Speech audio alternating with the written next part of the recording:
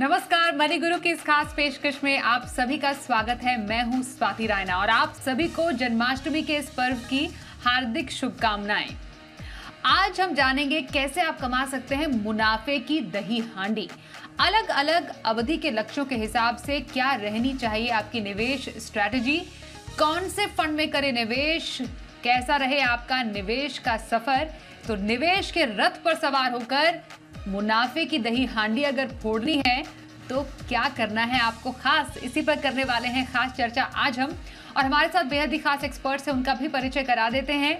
हमारे साथ हैं ऑप्टिमा मनी के एमडी पंकज मठपाल और वाइज इन्वेस्ट के सीईओ हेमंत रुस्तगी। पंकज जी और हेमंत जी, आप दोनों का बहुत स्वागत करते हैं मनी गुरु के आज के इस खास कार्यक्रम में। आज बेहद ही खास दिन है और हर जगह उत्सव भरा माहौल है। हम भी निवेश का उत्सव मना रहे हैं, इसलिए समझना ज़रूरी है कि जब नज़र लक्ष्य पर रहती है, जैसे कि दही हांडी की तरफ़ नज़र रहती है, और बस यही एक लक्ष्य रहता है कि किसी तरह उस तक पहुँच जाया जाए, वैसे ही एक निवेशक ये सोचता है कि उसके लक्ष्य पर जैसे ही पहुँचे वही उसके लिए एक सफल निवेश की यात्रा होती है। इसलिए हम अलग अलग लक्ष्यों के हिसाब से अपने इस शो में इसको बांटेंगे। मैं हेमंत जी आपसे सबसे पहले समझना चाहती हूँ कि सबसे पहला आने वाला हमारा लक्ष्य, छोटी अवधि का लक्ष्य होता है। क्या खास होता है इस ऐसी छोटी अवधि के लक्ष्य में और छोटी अवधि के लक्ष्य पर कैसी नज़र रखनी चाहिए? जी स्वाति जैसा आपने बिल्कुल कहा कि हम जब छोटी अवधि की बात करते हैं और अवधि इसलिए इंपॉर्टेंट है, जैसे हमेशा कहते हैं कि टाइम होराइजन बहुत ही इंपॉर्टेंट है, क्योंकि वो कहीं ना कहीं आपको ये बताता है कि आप रिस्क लेने की क्षमता उसमें भी होनी है कि नहीं आपके पास? अगर बहुत ज़्यादा समय नहीं है तो ऑब्वियसली आपका जो पूरा फोकस है, वो कैपिटल सेफ्टी पे रहना चाहिए। अगर लंबा समय है तो फिर आपको इन्फ्लेशन को बीट करना है। और अगर जब आप छोटी अवधि के लिए इन्वेस्ट कर रहे हो, जैसा मैंने कहा कि अगर आपका फोकस जो है, वो कैपिटल सेफ्टी पे थोड़ा ज़्यादा होना चाहिए तो कोशिश आपकी ये रहनी चाहिए कि आप ऐसी इन्वेस्टमेंट ऑप्शन में इन्वेस्ट करें, जहाँ पे टाइम होराइजन के हिसाब से आपको ट्रेडिशनल ऑप्शन जैसे बैंक डिपॉजिट्स है, इस तरह की जो ऑप्शन है, उनसे बेटर रिटर्न मिल सके, उनसे टैक्स एफिशिएंट रिटर्न मिल सके। और कहीं ना कहीं बहुत इंपॉर्टेंट एस्पेक्ट ये है कि आप रिस्क और रिवॉर्ड उसके बीच में थोड़ा सा बैलेंस करके चलें। तो ये दो तीन चीज़ों का आपको ध्यान रखना है स्पेशली जब आपके पास समय बहुत ज़्यादा नहीं है तो। हम्म। बिल्कुल तो ज़्यादा समय नहीं है तो आपको वैसे ही थोड़ा अप्रोच अलग लेकर चलने की ज़रूरत है। पंकज जी, आपकी नज़र में छोटी अवधि का लक्ष्य क्यों इंपॉर्टेंट है? क्योंकि ये ऐसे लक्ष्य होते हैं जिसकी ज़्यादा तैयारी तो हम नहीं कर पाते क्योंकि होराइजन कम होता है, लेकिन लक्ष्यों की जो महत्ता होती है, उसकी जो इम्पोर्टेंस होती है, उसमें कोई कमी नहीं होती है।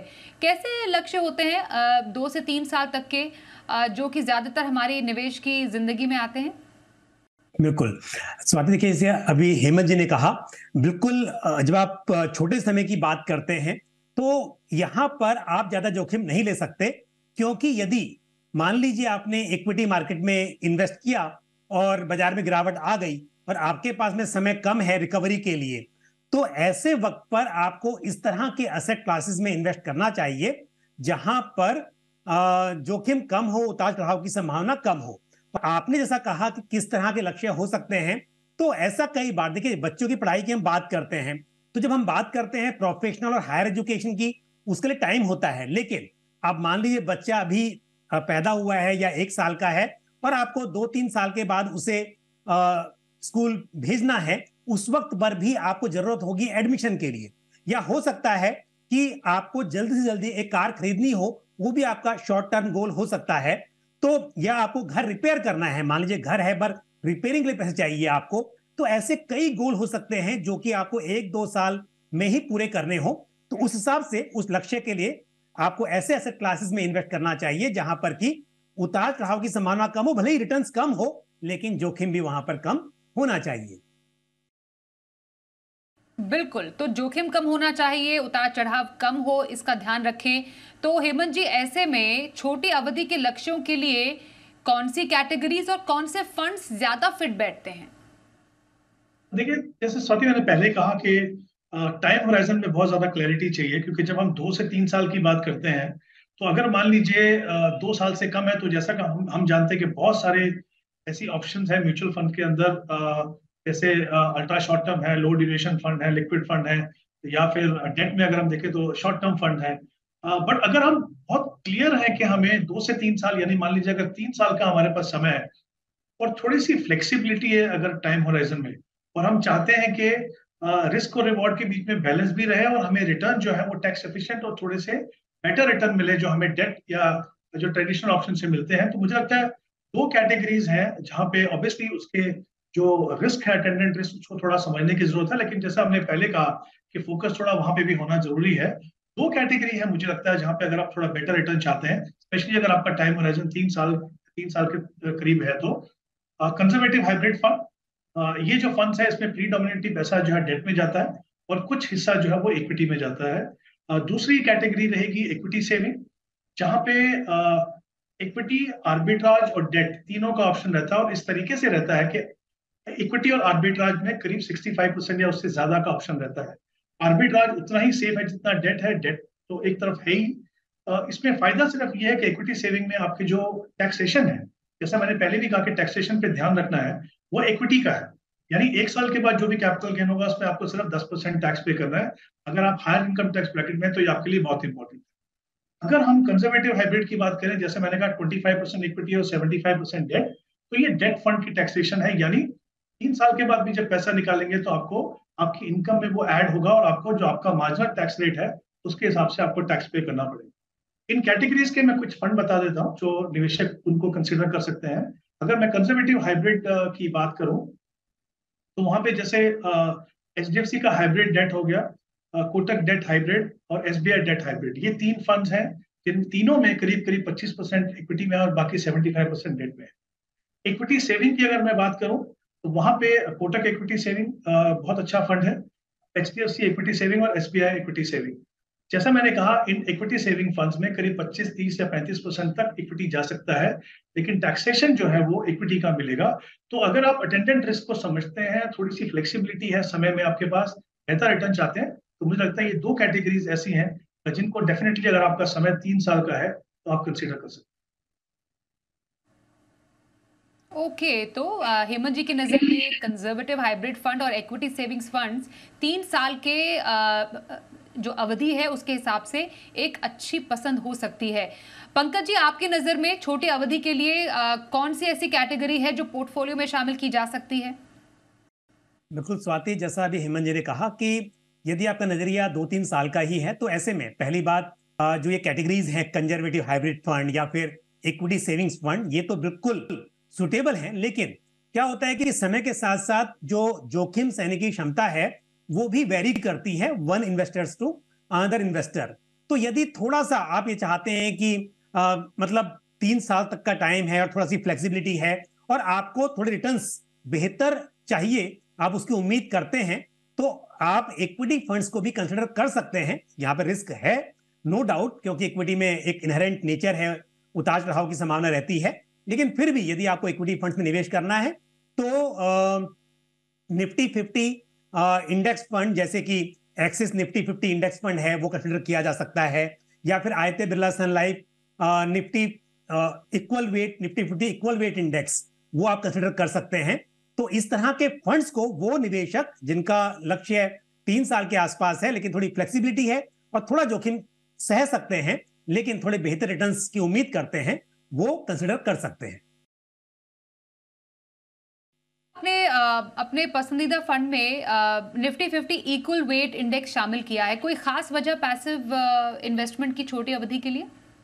बिल्कुल देखिए पहली बात तो छोटी अवधि में इक्विटी वैसे अपने पोर्टफोलियो में आप सोच समझकर ही शामिल करें। बहुत यदि आपको रिस्क नहीं लेना है तो नहीं करना चाहिए। आप ऐसे में क्योंकि इंडेक्स फंड जो होते हैं वो थोड़े सिंपल और समझना सिंपल है ट्रांसपेरेंसी है और लार्ज कैप है क्योंकि आप टॉप 50 कंपनीज़ हैं, उनके शेयर्स में आपका एक्सपोजर हो रहा है तो उस हिसाब से आप इक्विटी कैटेगरी में इनको कंपेरेटिवली सेफर मान सकते हैं। और आपने पूछा स्पेशली कि क्यों इक्वल वेट इंडेक्स तो क्या होता है, जब हम निफ्टी फिफ्टी इंडेक्स की बात करते हैं तो वहाँ पर जैसे फाइनेंशियल सेक्टर है तो उसमें एक्सपोजर बहुत ज़्यादा है आईटी में काफ़ी ज़्यादा है तो वहाँ पर सेक्टर के हिसाब से अलग अलग सेक्टर्स में एलोकेशन कम ज़्यादा हो सकता है, लेकिन जब हम बात करते हैं Nifty fifty equal weight index की तो यहाँ पर एक इक्वल वेट होता है सभी शेयर्स का। तो ये थोड़ा सा मेरे हिसाब से इस पीरियड की हम बात कर मैंने वैसे एग्ज़ाम्पल में दोनों ही कहा है, निफ्टी फिफ्टी भी और इक्वल वेट इंडेक्स तो ये थोड़ा सा मेरे हिसाब से इक्विटी कैटेगरी में बेहतर विकल्प माना जा सकता है। जी एक बार फिर से बहुत जल्दी से अपने फंड्स रिपीट कर देंगे। छोटी अवधि में कौन से आपने रेकमेंड किए थे? बिल्कुल दो से तीन साल की हमने बात की है तो यहाँ पर Axis Nifty fifty index fund और Aditya Birla Sun Life Nifty fifty equal weight index और स्वाति एक बात और ऐड करूँगा। देखिए हमने यहाँ पे बात जो की आ, सिर्फ़ हाइब्रिड की बात की इक्विटी की बात की लेकिन यदि नज़रिया मान लीजिए दो साल का या तीन का भी नहीं है तो ऐसे में आप एक शॉर्ट ड्यूरेशन फंड भी कंसिडर कर सकते हैं। जैसे Mirae Asset ultra short duration fund है वो भी कंसिडर किया जा सकता है। ओके okay, तो ये रहे पंकज जी के ओर से उनके पसंदीदा कैटेगरी और फंड आइए अब छोटी अवधि से निकलकर मध्यम अवधि के लक्ष्य की तरफ़ पहुँचे जो लगभग पाँच साल तक का लक्ष्य होता है। तीन से पाँच साल के इसको हम समझते हैं। ऐसे लक्ष्य की क्या इंपॉर्टेंस होती है हमारी लाइफ में हेमंत जी? और कैसे ऐसे लक्ष्यों की तैयारी की जा सकती है? स्वाति जैसा आपने कहा बात कर रहे हैं मीडियम टर्म की तो ऑब्वियसली बहुत कम समय भी नहीं है, बहुत ज़्यादा समय भी नहीं है। तो यहाँ पे अगेन इस तरह की स्ट्रेटेजी होनी चाहिए कि थोड़ा ध्यान हमारा सेफ्टी पे भी हो और थोड़ा ध्यान हमारा ग्रोथ पे भी हो, क्योंकि उतना समय है, क्योंकि हम टाइम राइजन तीन से पाँच साल की बात कर रहे हैं। तो अगर आप लोअर एंड में, मान लीजिए तीन साल में या पाँच साल में, और मैं हमेशा फिर से कहूँगा, चाहे शॉर्ट टर्म हो, चाहे मीडियम टर्म हो जब भी आप किसी मार्केट लिंक प्रोडक्ट में इन्वेस्ट करें तो हमेशा एक चीज़ का ध्यान रखिए कि थोड़ी सी टाइम होराइजन में फ्लेक्सिबिलिटी रखिए। क्योंकि थोड़ा सा भी अगर एक्सपोजर आपका इक्विटी में है और उस समय पे अगर मार्केट थोड़ी वॉलेटाइल है थोड़ा सा समय दीजिए अपने आप को मार्केट को सेटल होने तक, जिससे पहले आप विड्रॉ करें। और कई बार ऐसा भी होता है कि किसी गोल के लिए आपको पैसा चाहिए। आपको लगता है कि मेरे पास पाँच साल का समय है, लेकिन वो पैसा रिक्वायर्ड होता है over the next two three years उतनी फ्लेक्सिबिलिटी आप रखें तो मुझे लगता है मीडियम टर्म के गोल जो है, वो इंपॉर्टेंट गोल हो सकते हैं और यहाँ पे आपके पास एक अपॉर्चुनिटी है। कि आप सेफ्टी के साथ साथ अपने आप को एक अपॉर्चुनिटी दें कि आप अच्छे रिटर्न यहाँ पे आ, कमा सकें। तो अगेन मुझे लगता है यहाँ पे हाइब्रिड फंड एक अच्छा रोल प्ले कर सकते हैं। और सबसे अच्छी खासियत ये म्यूचुअल फंड में जब आप हाइब्रिड फंड में जाते हैं तो काफ़ी सारी वेराइटी है। और उसमें जितना आप रिस्क लेना चाहें जितना आपका समय है उसके हिसाब से आप चुन सकते हैं। तो यहाँ पे मुझे लगता है दो कैटेगरी मैं रिकमेंड करूँगा। बैलेंस एडवांटेज फंड जिनको हम dynamically asset allocation dynamic asset allocation fund भी बोलते हैं, और एग्रेसिव इक्विटी हाइब्रिड फंड तो ये दो कैटेगरी है, मुझे लगता है डिपेंडिंग ऑन कि आप तीन साल के नज़दीक है या पाँच साल के नज़दीक है, या आप बहुत क्लियर नहीं है तो इन दोनों का मिक्स करके भी अपना पोर्टफोलियो बना सकते हैं, क्योंकि जो बैलेंस एडवांटेज फंड है, वहाँ पे जैसे मैंने कहा डायनेमिक एसेट एलोकेशन है मार्केट के लेवल के हिसाब से इक्विटी का एक्सपोजर जो है कम कम या ज़्यादा होता है। अगर मार्केट बहुत ऊपर है तो इक्विटी का एक्सपोजर कम आता है। मार्केट अगर नीचे जाती है तो इक्विटी एक्सपोजर बढ़ता है। और एग्रेसिव इक्विटी हाइब्रिड फंड में मिनिमम 65 परसेंट पैसा इक्विटी में जाता है। तो दोनों का मिक्स जैसा मैंने कहा, कितना आपके पास समय है, किस तरह के आप निवेशक है, कितनी फ्लेक्सिबिलिटी है, उनको ध्यान में रखते हुए या तो इन दोनों का मिक्स या फिर दोनों में से एक कैटेगरी चुन के आप अपना पोर्टफोलियो बना सकते तो हेमंत जी, कौन से फंड्स रेकमेंड करेंगे? बैलेंस एडवांटेज फंड जो आपने बोला स्पेशली उसमें और दूसरी कैटेगरी जिसका आपने ज़िक्र किया? बिल्कुल। देखिए, अगर हम बैलेंस एडवांटेज की बात करें तो तीन फंड जो मैं रेकमेंड करूँगा इन्वेस्टर्स के लिए, वो ICICI Pru balance advantage Kotak balance advantage और निपॉन इंडिया बैलेंस एडवांटेज अगर मैं एग्रेसिव इक्विटी हाइब्रिड की बात करूँ तो ICICI Pru equity and debt एक बहुत ही बेहतरीन फंड है। कोटक इक्विटी हाइब्रिड और Nippon India equity hybrid fund ये तीन फंड हैं जो इस कैटेगरी में काफ़ी कंसिस्टेंटली अच्छा परफॉर्म करते आए हैं और किसी भी निवेशक को अगर इन कैटेगरीज में इन्वेस्ट करना है तो डेफिनेटली इन फंड में से कुछ फंड्स को कंसिडर किया जा सकता बिल्कुल। तो मध्यम अवधि के लक्ष्य के लिए कैसी कैटेगरीज रहे? तो आज हम खास तैयारी आपकी करा रहे हैं, आपके अलग अलग लक्ष्यों के लिए। मुनाफे की दही हांडी हमारा मनी गुरु का जन्माष्टमी स्पेशल एपिसोड है। हमारे साथ पंकज मटपाल और हेमंत रुस्तगी है।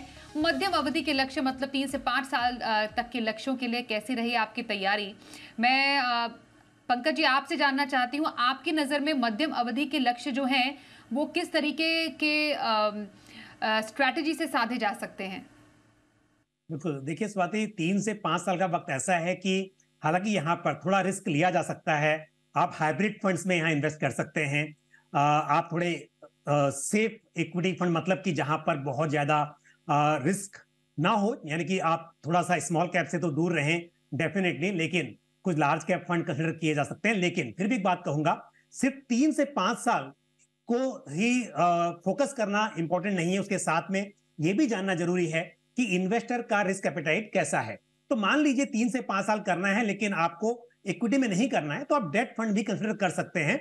और यहाँ पर कॉर्पोरेट बॉन्ड फंड्स जो होते हैं वो कंसिडर किए जा सकते हैं तो ऐसे निवेशक जो इक्विटी का रिस्क नहीं लेना चाहते, उनके लिए जैसे ICIC Prudential corporate bond fund है इस तरह के फंड को शामिल किया जा सकता है। लेकिन उससे आगे बढ़ के यदि आप चाहते हैं कि हाइब्रिड फंड में आप इन्वेस्ट करें तो बैलेंस एडवांटेज फंड डेफिनेटली यहाँ पर एक बहुत सुटेबल कैटेगरी है।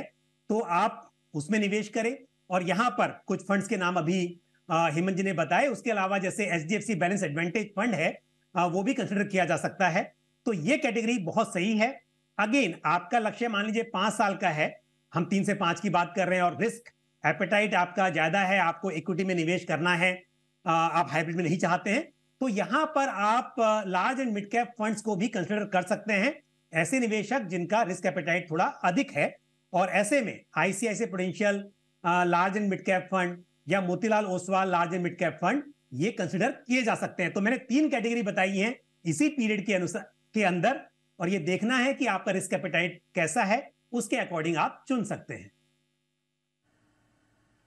बिल्कुल। हेमंत जी एक कैटेगरी ऐसी है जिसमें अब तीनों एसेट क्लास का समावेश है। क्या मल्टी एसेट कैटेगरी जो है, वो मीडियम टर्म के लक्ष्यों के लिए सही फिट बैठती है?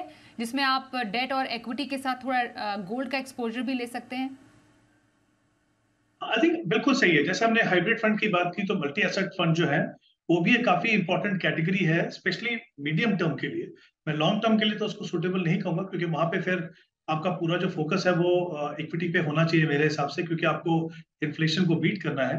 बट अगर आप मीडियम टर्म की बात करते हैं तो डेफिनेटली ये एक ऐसी इंपॉर्टेंट कैटेगरी है जिसको इन्वेस्टर्स कंसिडर कर सकते हैं। इसमें खास बात ये है कि इसमें फंड मैनेजर एटलीस्ट तीन एसेट क्लासेस में इन्वेस्ट करते हैं। तो अगर आप ऐसे इन्वेस्टर हैं, आप चाहते हैं कि ऑटोमेटिकली थोड़ी you know across asset classes rebalancing होती रहे एफिशिएंटली जो फंड मैनेजर करेंगे तो इसमें क्या होता है? जैसा मैंने कहा कि मिनिमम तीन एसेट क्लासेस रहेंगी और हर एसेट क्लास में मिनिमम टेन परसेंट का एक्सपोजर होना ज़रूरी है। तो जो आप नॉर्मली जो मल्टी एसेट फंड देखेंगे, वहाँ पे एक्सपोजर इक्विटी डेट गोल्ड या फिर ऐसे भी फंड है जहाँ पे इंटरनेशनल इक्विटी होगी, या किसी किसी में चारों भी आपको एसेट क्लासेस मिल सकती है। तो एक इंपॉर्टेंट कैटेगरी है स्पेशली अगर आप उन निवेशकों से हैं जो चाहते हैं कि रिटर्न अच्छा मिले बट जैसा मैंने कहा कि पोर्टफोलियो में रीबैलेंसिंग होती रहे जो एज एन इन्वेस्टर आपको करना बहुत मुश्किल ही नहीं। साथ में वो टैक्स इनफिशियंट भी होता है। तो जब फंड मैनेजर करते हैं तो आपको कोई टैक्स पे नहीं करना पड़ता।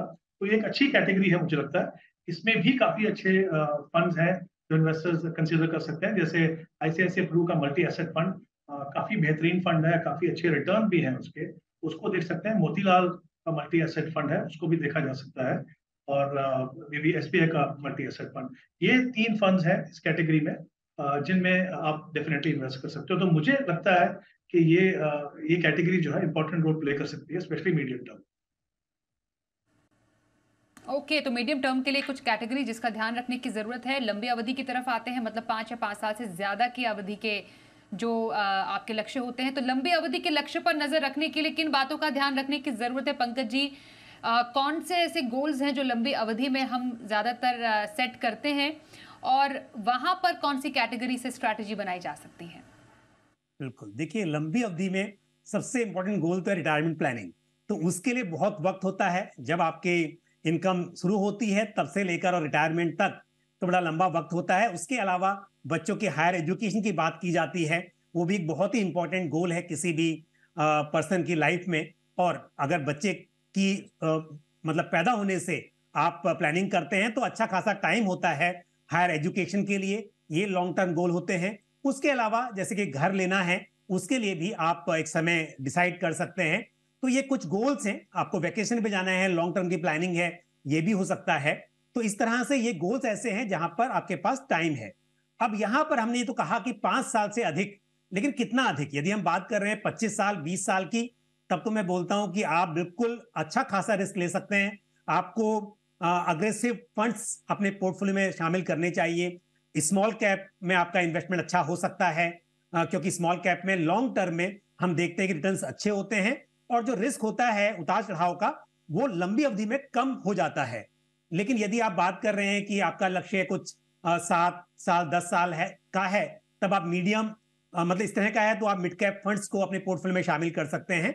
और यदि आपका हम बात कर रहे हैं कि पाँच साल, सात साल के आसपास है तो ऐसे में स्मॉल कैप से थोड़ा दूर रहें तो ये अच्छा होगा। तो यानी कि यहाँ पर आपके पास बहुत सारी चॉइस है कि आप डाइवर्सिफाइड इक्विटी फंड्स में इन्वेस्टमेंट कर सकते हैं। अगर मैं कुछ फंड्स की बात करूँ स्पेसिफिकली मतलब ये ना सोच के कि कौन सा स्मॉल कैप और मिड कैप तो आप मल्टी कैप और फ्लेक्सी कैप जो कैटेगरी है उनमें इन्वेस्ट कर सकते हैं। और यहाँ पर जैसे Parag Parikh flexi cap fund है Nippon India multi cap fund है एक्सिस ग्रोथ अपॉर्चुनिटीज़ फंड है, ये फंड आप कंसिडर कर सकते हैं लॉन्ग टर्म के लिए। मेरे हिसाब से ये अच्छे हैं। और अगर यहाँ पर भी किसी को इक्विटी की जगह पर अगेन हाइब्रिड में इन्वेस्ट करना है और क्योंकि कई बार ऐसा होता है कि समय लंबा होता है लेकिन फिर भी जोखिम सहने की क्षमता कम होती है और बीच बीच में उतार चढ़ाव आते हैं तो निवेशक को उससे घबराहट होती है। तो फिर अगेन आप बैलेंस एडवांटेज फंड कम से कम अपने पोर्टफोलियो में लॉन्ग टर्म के लिए ज़रूर शामिल करें। फ्लेक्सी कैप शामिल करने का कोई खास रीजन लंबी अवधि में पंकज जी? संक्षिप्त जवाब। सॉरी आपने कौन से फंड की बात की? Flex flexi cap flexi cap जो आपने कहा लंबी अवधि में शामिल किया जा सकता है क्या उसका इंपॉर्टेंस है?